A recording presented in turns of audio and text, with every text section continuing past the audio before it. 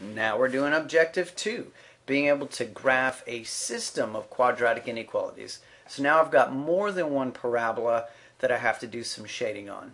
So um, you may remember doing this with a system of linear equations and you had to shade one portion, you had to shade another portion and saw where they were overlapped and that was what your answer was. So we're doing the same thing here except for with some parabolas. In the picture, this is a picture of uh, a, a bridge in Shanghai and you can see kind of that we've got one parabola going one direction and it's got shaded underneath and a parabola going in another direction and it's shaded underneath. And the actual answer the overlap is where they would both be shaded together. And that's exactly what we're going to do. So hopefully you've got more than one colored pencil or colored whatever you're coloring with because we need a couple of colors here so when we're graphing uh, a system of quadratic inequality as long as you have some colors, it's going to be easy. If you don't have colors, you could always shade it in different directions, whatever. So step number one, graph each inequality and shade each region in a different color. Or maybe I shade it horizontally, the other one I shade vertically. Your solution is the overlapping color, the colors that, um, that are on both of the shaded regions.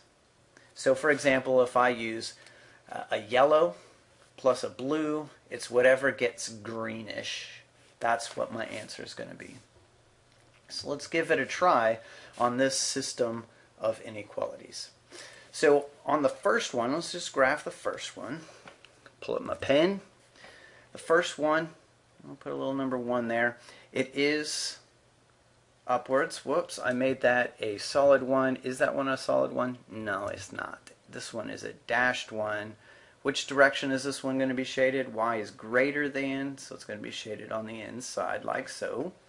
And this is just the parent function moved down 3. Everything's exactly the same as the parent function, it's just moved down 3. That one should be a piece of cake to graph.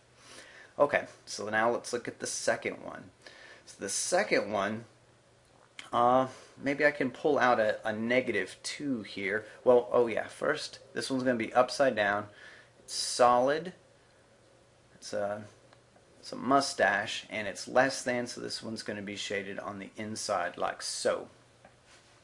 So let's go ahead and factor this thing. Let's see, I could pull out a negative 2 here. So a negative 2 inside the parentheses. Wait, why don't I just put this in vertex form? That should be pretty easy negative 2 x squared. When I factor out a negative 2 here, it's going to be a negative 2x plus a blank. And I'd have to subtract that same blank, and then here's the plus 2 from the original equation. So I take half of that negative 2, I get 1, square it, I get 1. Did I add 1? No, I didn't. I actually subtracted 2, so I have to add 2 at the end of this.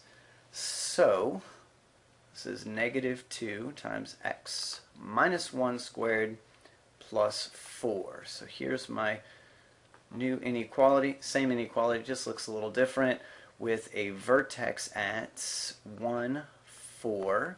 If I'm going to do SRT transformations on this, the s goes, oh, I'm scaling it by 2. There's a 2 up front. So 2 times y coordinates I am reflecting it across the x-axis. Mm -hmm. And I am translating it right one and up four. Okay, putting all those things together and finding the appropriate shaded regions like so.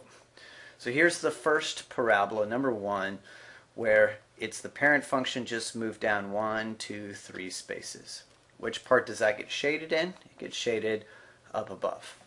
Okay, parabola number two, just using the SRT transformations with the vertex at 1, 4, and this one being upside down, goes like so. Um, also, I could see right here I have a y-intercept of 2 from the graph and then reflect it across.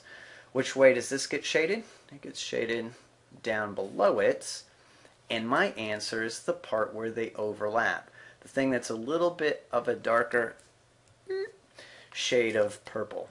Okay, it's this kind of oblong shape. Anything in that region would satisfy this system of equations, and therefore that's what the solution is. All right. Got your colored pencils ready? Give those two a try. Should be pretty simple. I gave you very, very easy ones to try to graph. Give that one a try.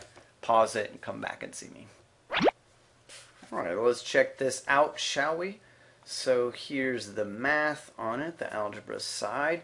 The equation number one, inequality number one, it's just essentially the parent function. Um, and it is opening upwards, it's a beard, and since y is greater than, it's going to be shading upwards. Parabola number two, well, let's go ahead and graph that thing. So there's parabola number one, it's parent function, it's solid, it's shaded up above. Okay, got that. Now, parabola number two, I just did SRT transformations for it, so it's not being scaled. It is reflecting across the x-axis, and then it is translated up 5. Upside down, so it's mustache.